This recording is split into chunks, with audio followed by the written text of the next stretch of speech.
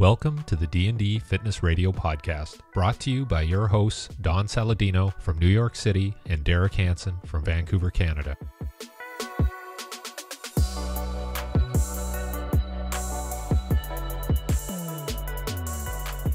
Um, all right, so let's get. So I know you got a hard stop at 145.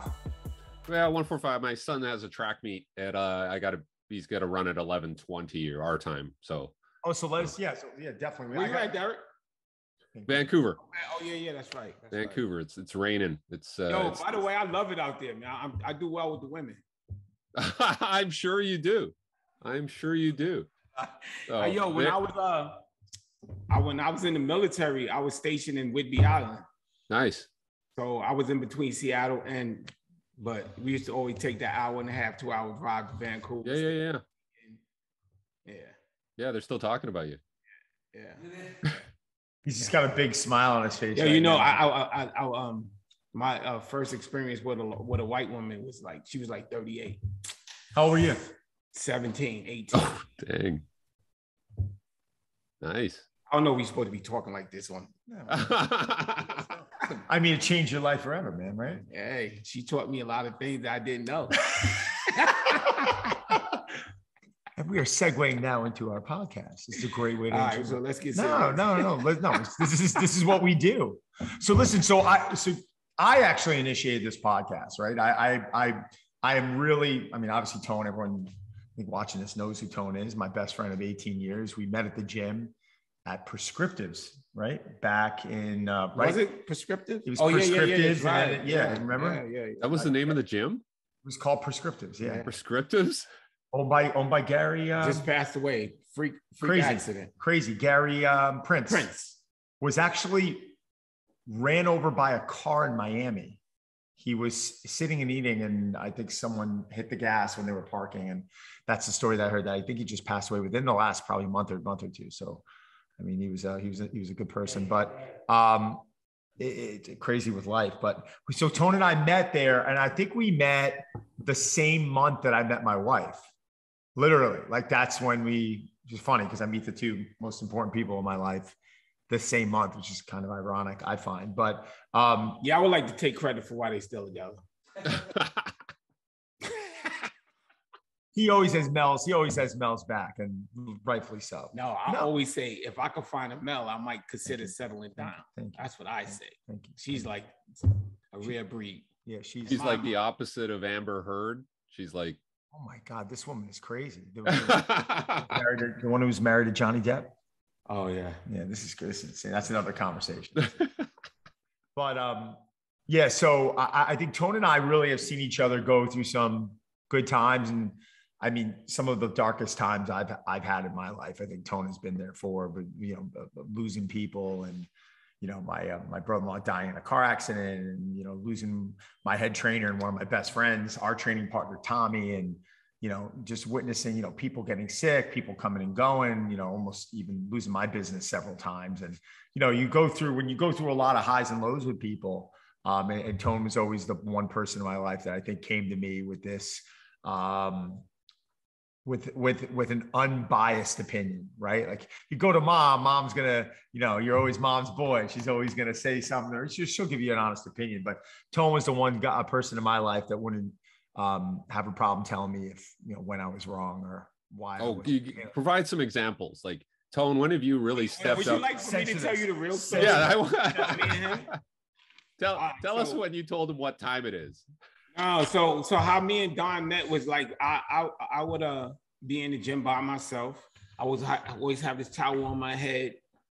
Um, I, I'm not homophobic, but it was like a lot of gay people in there, so I I don't keep that. I, I wanted to stay focused, right? So I needed a spot. So one day I'm looking around to ask somebody for a spot, and I seen. I'm like,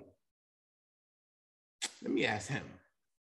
So I was like, yo, you, you got a minute, give me a spot. He said, sure, sure, sure. sure. he You were that polite about it? I think so. I thought you just said, "Yo, man, I need a spot." No. I was like, yo, can you nah, dude, oh, no. So he's like, yo, if you need another spot, yo, whatever. So I did need another spot. And then I had this weight belt on. So he's like, yo, why you got that weight belt on? I'm like, what? You He was doing about? bicep curls with uh, a. No, with I a- was doing bench, bro. whatever. I was doing. He's like, he's like, yo, why? I was like, yo, I, I, I said, cause my back, my back, is, I got a bad back. So he's like, yo, your back is your back is weak because your core, your core is all this healing and all this. Went into that right away. Right away. I'm wow. telling you. So then, you know, I, me, I want to learn. So I just like, I, I said, let me be open minded because I think a closed mind can't grasp a good thought. So I listened to him, and um, we just became yo, and then yo. Well, when you in there, you know, we started ranging how we was gonna uh work out together. And I would say, for me, as we starting to figure it out, we start talking to each other, and I started seeing who he was and where he come from, and he and then he was seeing who I was and where I come from. And in my mind, I wanted, I made it my business to work out with him because I was trying to see different things in the world. Like I was tired of growing up in the urban, seeing the things that I've been doing, going through. I wanted to like see what other people, how other people was living and how they do things or whatever. So I had a purpose for wanting to always work out with him. And then I think he found a purpose for wanting to work out with me. And then we used to be talk. He don't like when I say this, but like when I met him, he used to go see a psychiatrist. I don't mind you saying that. Oh, I don't mind that. I, I, I, I, I, huh? I used to, yeah, I used to, I used to go, I used to go to a therapist once a week. Yeah, hell yeah. I, I think it was the best money I ever spent, to be honest with you. And then, you know, me and him, he didn't, he didn't feel like he needed no more, right? So now I don't know this. He's been going home talking to his parents about me, right? So when I eventually meet his parents, his mom go, Tone, take care of my son. I'm like, and I'm not, I didn't do that in her face, but I was like, I wonder why she said that. But then I, I started, you know, we I started getting it because I felt like I didn't know at the time he was what he was doing, psychiatry stop or whatever. But I think as him going home, he was showing more growth as being on his own in the city, dealing with the challenges. So I felt like he was getting growth from me talking to like my experiences is how I go how I go about things, and I was getting growth for him because I was looking for like to learn how people really build futures. I was gonna say you guys are are there's a significant age difference. Like you guys aren't the same age and you aren't from the same generation, right? No, I'm I'm what I got 15 on you. You're 60 and I'm 45, yeah. So like big brother. Yeah, definitely. Definitely. Yeah. I would say it's kind of like that. And I would say, like, yo, I I think God, you know, when I started feeling like I wanted to change my life from what I my what I was dealing how I was going through life, and I wanted to do better. In order to do better, you got to know better. In order to know better, you got to be around people who could teach you. So I started wanting, I wanted to do better, man. Like I wanted to be around shit, and I just wanted to learn and see, you know, just, you know, just learn how people really are working hard and, and doing things to build real futures and taking their time instead of like I grew up fast paced, fast money, crash burn, you know. That's my world. So is was was there one specific uh, time when you're like you had to step in and you had to tell Don like, hey, you got to straighten this out, or you got to time? Let's say like a thousand. Don't make it sound like you're some angel here, also, man. It's like, come on. But I I don't get in trouble. That's the difference between me and him. You want to know what that means, right? He's trouble. No, that means that whatever I do, angel or not, I don't. I I, I don't know nobody. Yeah, what he means is no. he he means he was talking about being free the other day and and, and like, not uh, yeah, not like, not, you know, not being held accountable. Um, yeah, man. I mean, I think we all evolve, right? I mean, I think you look at me right now at 45 and me at 25. I mean, there's two different people. I would have. By the way, there's people at your age right now that still ain't getting it. Oh yeah. You know what I'm saying? 100%. So for me, I feel like growth is what we make mistakes, we go through things, we learn. But to me, I can't see people continue to make the same mistakes. Like then I can't feel sorry for you. But if you make a mistake and you learn from it, you know, it's that's part of growth. You we all gonna make mistakes. Like I'm pretty sure I got more mistakes to make at my age or whatever but I'm trying to avoid as many mistakes as I can make because I think mistakes sometimes, for the most part, are painful. But how yeah, do you do that when you you got to take risks still too, right? You still take risks, or you you're not cautious. You're just I, listen. I take risks. I calculate my risks now before I just be risky. Now it's like if I'm taking a risk, I'm I'm see here's the thing, right? Regardless of what kind of risk you got to take, you got to set responsibility for even deciding to take a risk. You have to already, whether it's a good risk, a bad risk, whether it's about making a lot of money or whatever, you have to be in acceptance to understand that this could go bad. And if you don't have that in you, then you you're not really built for taking risk. You should just go get a nine to five, know exactly what you're gonna get, exactly when you're gonna go to work, exactly when you're gonna come home, all that, because you ain't taking no risk now. You are you you know what you're doing. When you when you trying to build a, a company or whatever you're trying to do, like yo, you don't you don't know what you don't know what lies ahead. You just don't. You know, whether you're doing legal or illegal, you just don't know what the world. You know, we it's a risk.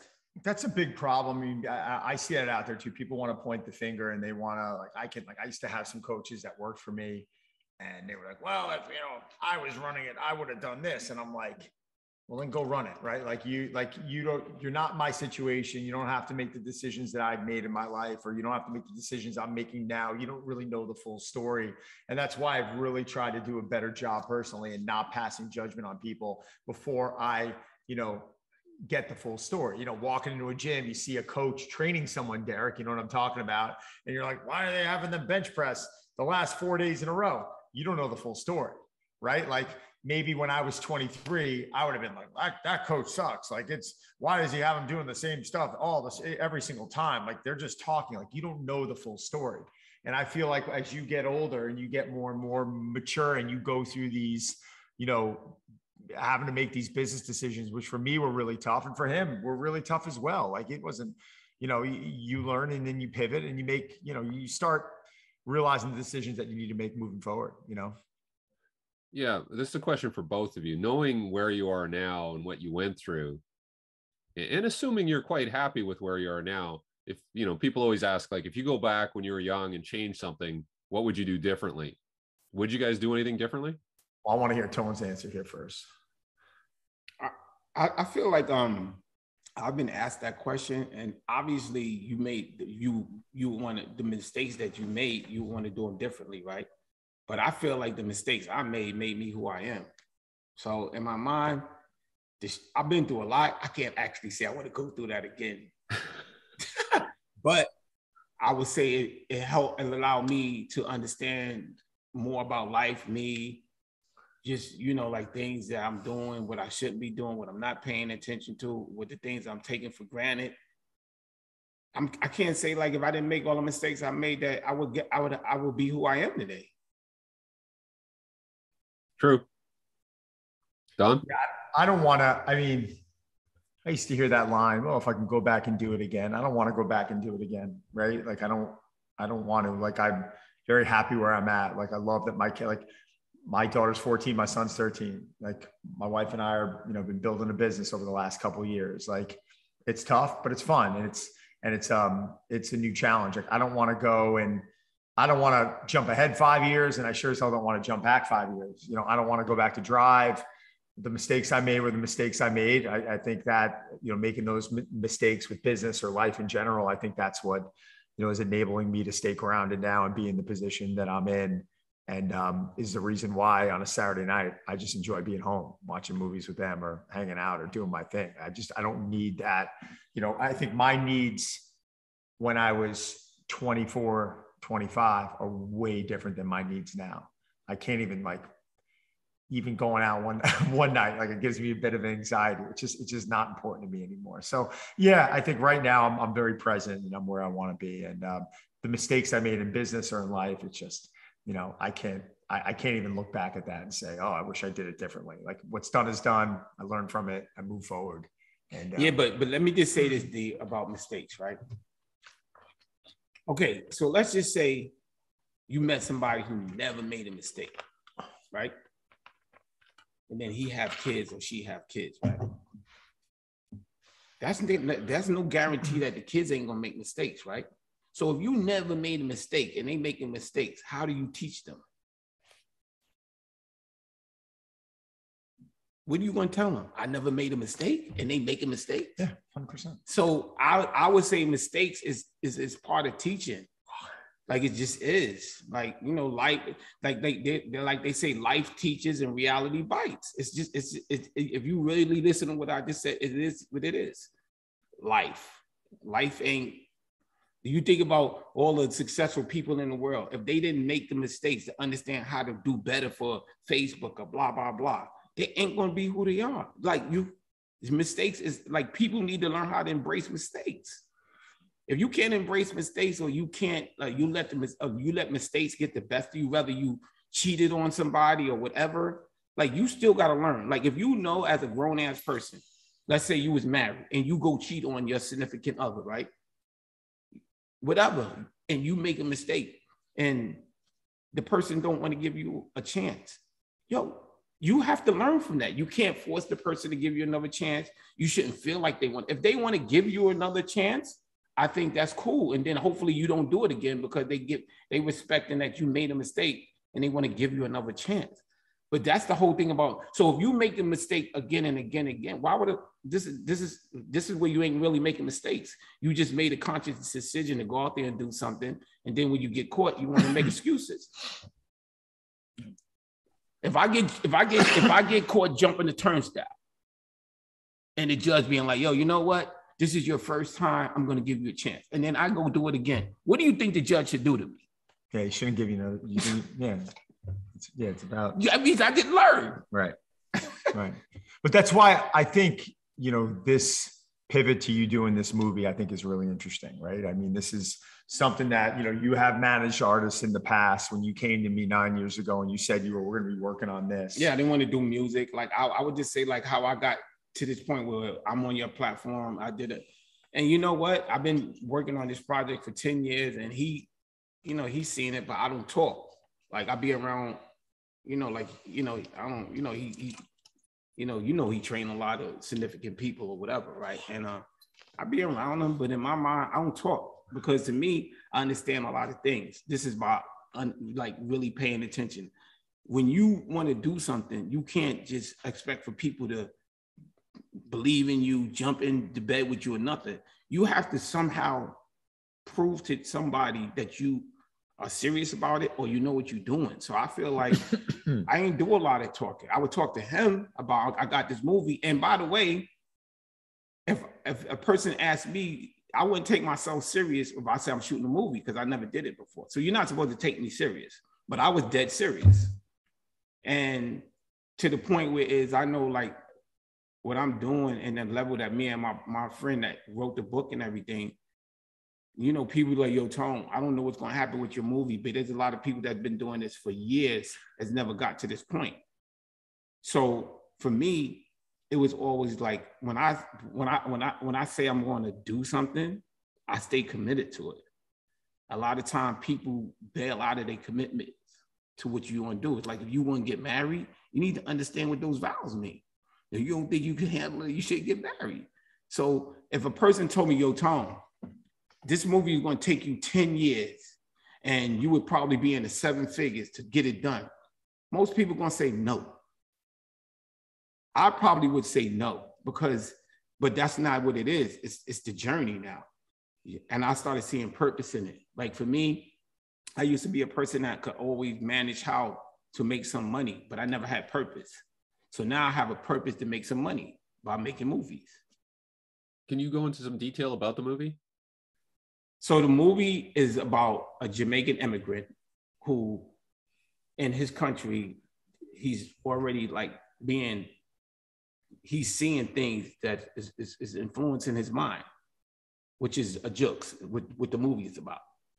So when he comes to the United States to pursue the American dream, he goes to high school, go to the military, come home, and he finds out that his mom got cancer. He tried to take on odds and end jobs to do the right thing because this is he's in a new environment. He's not around no, no negative. He went to school. His mom is trying to raise him to be the right way. Because times are hard, right? It doesn't matter how good your parents do. When you go out into the world, you don't know what the world's going to offer you. He started realizing that if he was going to take care of his parents, I mean his moms, and and figure out how to take care of himself with everything, being doing getting a regular job ain't going to do it. getting doing getting a regular getting a regular job wasn't going to cut it. So if you think about when he was growing up in his country, mm-hmm. there were things he knew how to do to get money. So, you know, he has an antagonist in the movie that triggers this thought. And once he just say, "Oh, my mom got cancer. I got to do what I got to do. I'm tired of people playing with me or whatever," he takes this life on of jux is when you rob somebody for something. So that become his life. But the part, the other part to that is, is like, okay, let's just say your your parents, you're gonna do whatever it is for your loved ones, right? Now you getting money. You did it to take care of your loved ones and just do good but the money is coming. So now you it's not about your moms no more. It's about you having the fancy cars, you know, spending money on watches, jewelry, you know, going to clubs, strip clubs. So at this point in time, the focus on doing it to survive become more on the stu- focus on you chasing this money that at the end of the day you not it's not you know you shouldn't be doing it in the first place so a lot of time in my culture this is how we crash and burn so if you think about it, a lot of times people don't understand, like in the urban world, we were just we everybody was born on an even scale. You was born, you didn't know what you were gonna do, your mom's raised, I didn't know, right? At some point in time, your environment start influencing your behavior. So if you a lot of times people don't understand how people join gangs, uh, sell drugs, rob banks, whatever. But you, a lot of times, we all are a product of our environment. If you think about how you was growing up, there's a lot of things and you was growing up that whatever they were doing to make you who you are influenced you. And you started shaping who you want to be based on the things you've seen and you liked and you didn't like. But sometimes in, in, in where how I was growing up, it's nothing but negative stuff all the time.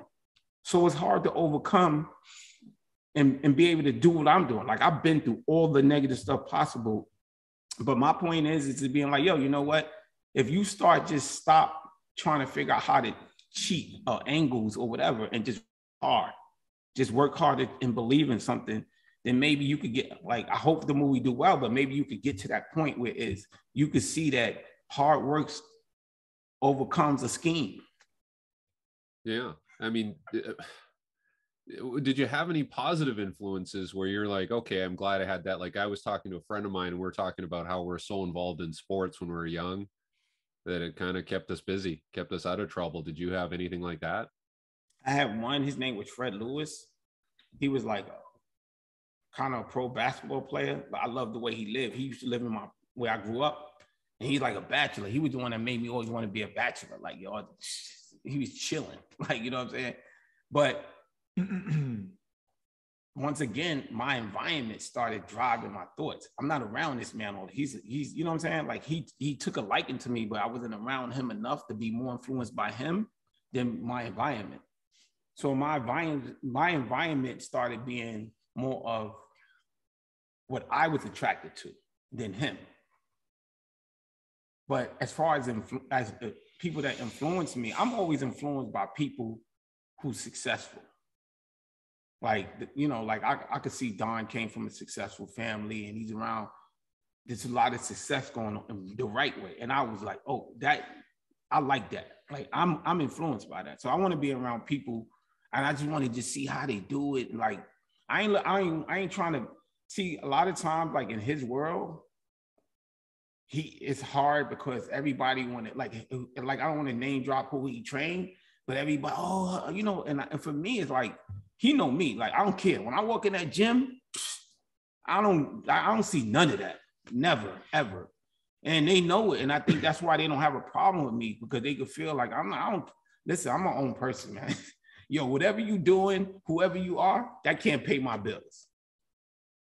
Yeah, I, I also think that's probably a, a reason why, you know, I got along with them well. Also, is is and you've seen it. It was your behavior doesn't change when you're around certain people. And I, I and I feel bad. Like I, you know, sometimes you're with these people that you see on the big screen, and like individuals on the street just can't give them a break. They're like, "Oh, can I get a picture?"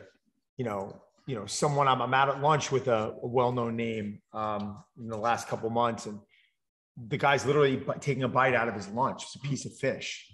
Someone's like coming over with a camera. He's like, dude, I'm eating. Like, and he's the nicest human being, but like, where is the filter? Like, I don't really understand, you know, and, and, and then you start wondering why, you know, a lot of these celebrities go out and they're, and they're in their shells and they got their hats on, their glasses on. They just want, they want an out, they want a piece of normalcy. You know what I'm so I think when they start getting around people like us, especially in the environment drive, it was a very safe place for them to be able to go in and not actually worry about, you know, um, you know, you know, if someone had a camera was holding a camera low, like I used to have the post call up, like so and so training there, and I'd be like, really? I wish they were training here. Like, send them my way. They would like hang up on me because they think I was some goofball. And then like that individual would be like on the treadmill walking. Like, I just, I, I didn't care. Like when I was working with Hugh Jackman, he was trying to do PR for, for me at a time where there was no social media. I didn't care. I'm like, no, Hugh, just, just, just train and just let's worry about you. And then that was the attitude. And I think that's what Tone's talking about right now. Okay, yo, can we, can I tell him the story about, uh, what's this doing? I'll just say what I was saying today. You remember that time I came in and the dude was like, "Who's this guy?" And oh yeah, don't mention his name. But then I had words with him after that. yeah, yeah, yeah. I'll tell. He's a big actor. Yeah, like a huge actor, and this dude kept. And I'm like, yo, I leave yo Don. Like, yo, I, am gonna leave, yo, because I don't. This dude. This right guy here, came up to him and was like, it was actually really rude. He's like, yo, what are you doing here? Tone's like, I'll never forget this. Tone's like, I'm, I'm a member here. He's like, you're a member here.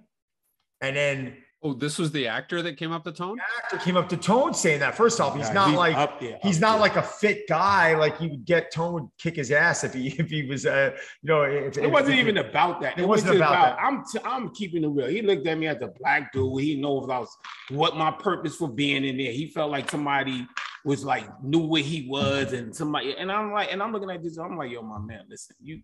I get why you feel that way, but you confused right now. Yeah. And then I went up to him and I was like. I went up to him and I'm like, like, you just all the way confused, Mike. Right, right now, I don't really care about you, B. And then I went up to him and I verbatim said, Hey, call him, call him by his name. What the fuck are you doing?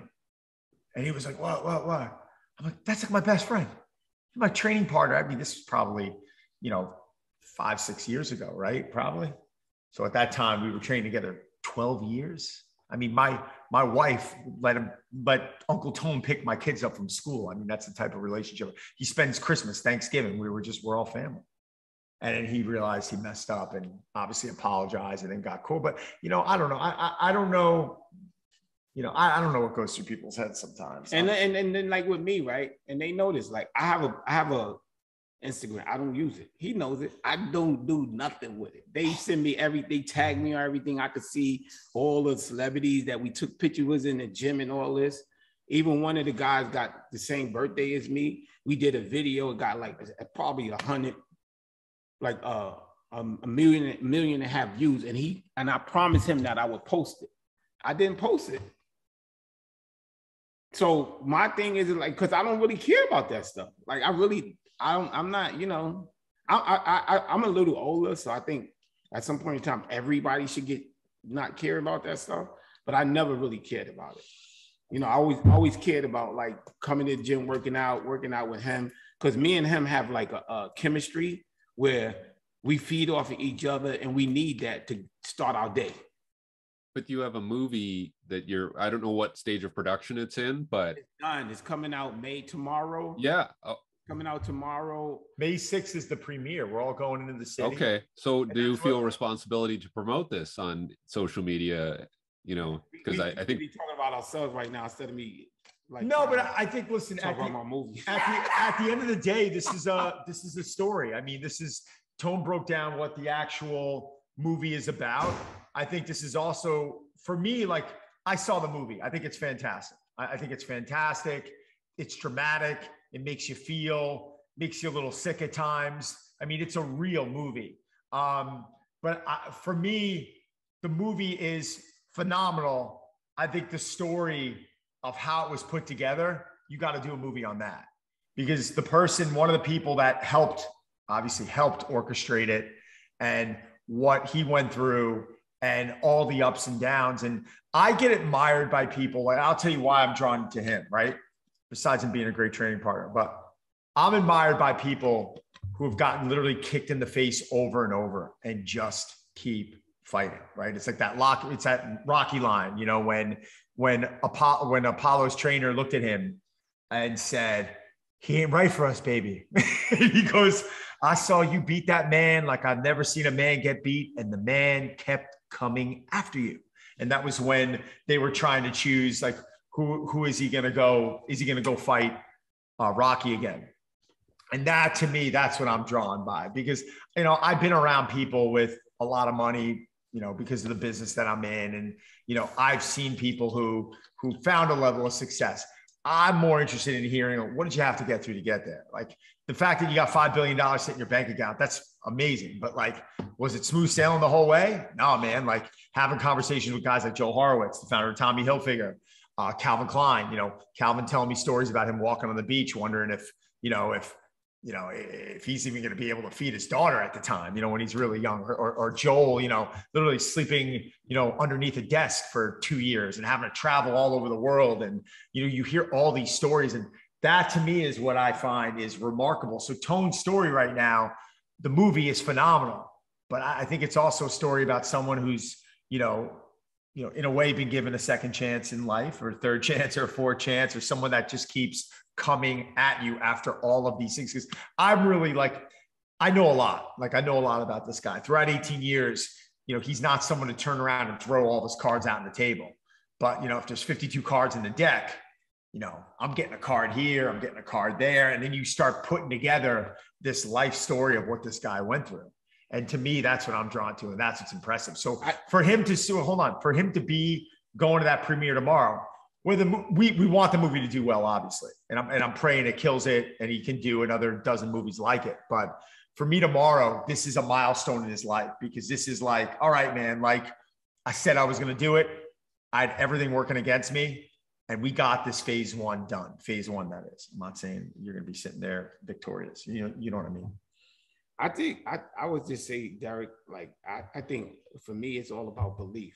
But the belief is not what people believe in me is what I believe in myself. Because a lot of times, uh, I feel like when people see people believe in them, they use that energy, right? But those are the same people they they, they might think like, nah, you, you ain't that it is, and then you can't handle it because the people that would believe in you don't believe in you no more. So for me, I don't rely on I don't rely on who believe in me. I just stay consistent in believing in. I don't really care. I just believe in myself.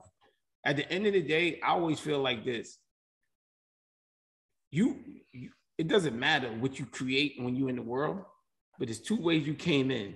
I mean, two ways you you uh, you came in by yourself, you leave by yourself. Mm. That's just it. I don't care what nobody say. What legacy or what whatever you do in the process, that's cool. But once you leave, you leave. Once you come in, you come in. So for me, it's like I I, I can't really sit up here in no situation, not just positive, eh, whatever it is. I have to I have to internally let allow myself to figure this out because a lot of times people are needy. They need to hear a positive influence. I I mean, no, I don't I'm not I don't have nothing but I don't have nothing to get people going to church. But people go to church to hear the word. They feel like that word is actually making them feel like they can overcome things. The problem is you ain't really listening to the word because you'll still go out there and you'll do exactly a bunch of the stuff that the God, the God says you ain't supposed to do. So you just want to hear it, make you feel good, but you still gonna go out and do shit, something that you shouldn't do. Because we we all sinners. So I don't know. Every, every I think everybody who go to church on a Sunday sins on a Monday. Somehow. I think I think most people and there's I, nothing wrong with no, it because no, no, God, because no, hold on, because God, uh, He's already accepted us for us. This is what I do know. No, then that's true. Well, huh? that's, that's, what I believe. Yeah. He, he we all who he, he he accepted everybody, even the worst people in the world. He what are you talking about? He's he accepted all of us. He he know all of us ain't going to be the, the person that's going to sit up there and listen to the word. But sometimes you don't you don't get the word through those type of people. You can get the word through somebody like me. So now I'm interested. What is the movie called? Because we haven't we haven't uh, gone into that. And then where can you see it? Because uh, you know people are going to want to see this. It's called Respect the Jux. It's going to be on all platforms of demand. You could pre-order it as of today until tomorrow on Apple TV. After that, whatever stream demand, like I got the list. Uh, I have the list here, right? But the list is like about 10 other demand channels on TV. Wow. Yeah. So We could tie in some links. I, you know, we're gonna tie in some information. Yeah, yeah. well, I'll get I'll get this episode out right away. Yeah. see, look, you can see. Uh, let me see. Wow. I said it to Don, but those are all the links on demand. I think you know what I'd like to do, D. I- I'd like to. Um, I'm gonna watch it. I'm gonna see it again tomorrow night. But once you see it, I'd like to do a little, little not a review, but we can kind of do a little recap on it and not.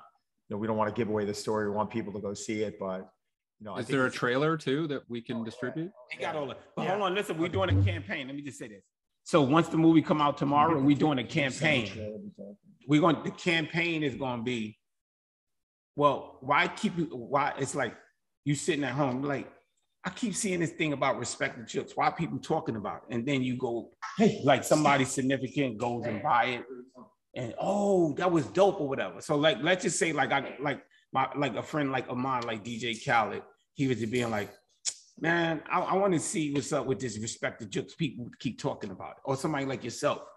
And then you record it and then you post it on your page, whatever you do. And then you the next day you probably being like, oh, you know what? I wasn't expecting this. You know, I don't really watch urban movies, but it was all right, or I hated it, or whatever. So the campaign is gonna be, let me see what this respect the jux movie is about. So people, you know, could go watch it. Yeah, and and let's say, I mean, do you have a, a sort of a plan around where you go from here? Like you went through this experience of putting this together, and this is my purpose now. I I just said earlier, like my I never I I've always found way to make money with no purpose. So my purpose to make money is to continue to make movies. Like I want to make, but I want to make authentic urban movies, meaning I want to educate people on how we us. Because a lot of times I feel like if you watch a lot of urban movies today, they glorify the drugs, the guns, the just messing with the chicks, buying the jewelry. And, it, and you got to think about it. That's not how we grew up. We ain't grew up to be destructive. So it's all right to get into how they made money and they celebrate, but you got to get into where was they at when you decided that you're going to take this type of life on, regardless if you're successful or not. And I feel like nobody, nobody shows that. That's I, I feel like that's a that's a big missing part of how in society we, we you know as cultures we we just don't understand each other yeah, well, I'm looking forward to seeing it. Um, yeah, Let's, let's do a recap on it. All right, you wanna? yeah, yeah, definitely, All right. definitely. yeah yeah yo check go check it out man you know post that up Rob's gonna send. Rob's gonna send the trailer over to you. I'll touch base with you later. All right, D. you'll be able Yeah, to watch no- it tomorrow though man so you know So it premieres tomorrow. yes Okay, so Yeah, I'll make sure I get it. all platforms of demand we it's in going to be in cinema village on uh second avenue and 12th street. It's kind of like a private it's like a private Private situation. viewing. We'll, we'll all be there though. But that must have been a quite a an experience of going through obviously writing and then getting into the production and getting people on board and getting it investors and all that. Like i would like to hear about that too. Like that must have been quite a education. Yeah. Let's- well, we could talk about that uh, hopefully we have more to talk about after you watch it. Yeah yeah yeah maybe Let- you have more things you would like to say to me because i know like uh Let's let's let's let's redo this in a week or two. We'll bring Tony in after workout. We'll talk about it. We'll have this first episode out. Hopefully, it piques everyone's interest. Then we'll bring him back in and we'll see how the response was. We could all talk about the film a little bit. Yeah. All right. i would like that All right, brother. I, Thanks, yo, guys. I I appreciate uh you having me on your platform with Don. You know, um, yeah. Um, hopefully we could talk again, man. yeah hopefully this is a regular thing If you want me to teach you about training, I could do that too, though. yeah yeah I got, I got my old weight belt here from like 35 Yeah. years ago so we can try that on so You know, yeah, another. Let me just say this: like one thing about me and Don when when he when it comes to like like being determined, like we don't believe that we can't do something. So like a lot of times, I can I already know like the weight he can't lift, And just because I said The it, way I can't lift? What do you mean? that you can't lift. Yeah, I know the weight you can't lift. So it's, sometimes he gets to that and he feels like just because I said that, he got to prove to me that he can lift it. And then you know what I'm saying? Stop cheating yourself, bro.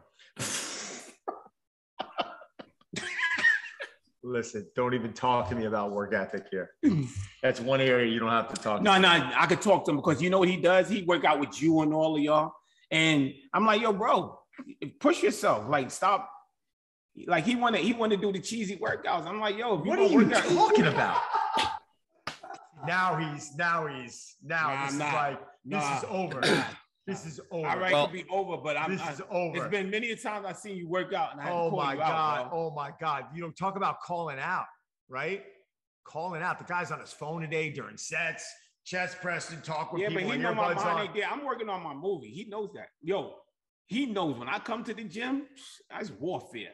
I ain't got no Yeah, yeah, friends. yeah. He knows this. Yeah. Yo, he he he. You know what? You know he work out with people who like to talk. And he I like. Do I like to in drive. He used to have a group five six.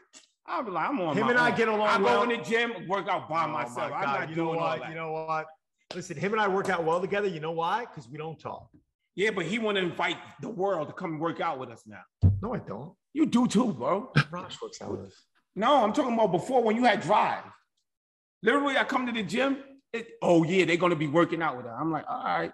Once I see they start doing too much talking, D, I'm I check. Yeah, out. some of them, honestly, some of them did yap a little bit. I would just yell at them, and I see I could shut it off and just do my set. He gets annoyed and he walks off. Nah, So no, because you be talking with them. no, stop it. Okay.